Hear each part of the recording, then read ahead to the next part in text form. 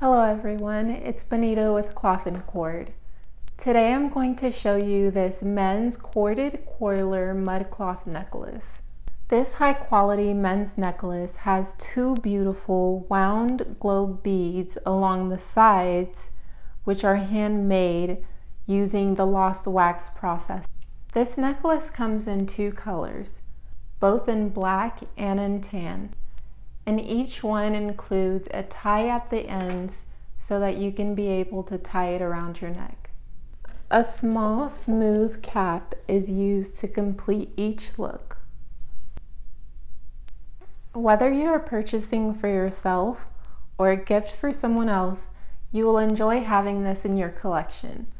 This piece would help to heighten any look, I imagine a nice tailored fit blazer or vest with a solid color collared shirt, some nice jeans, and a long coat for the casual winter style.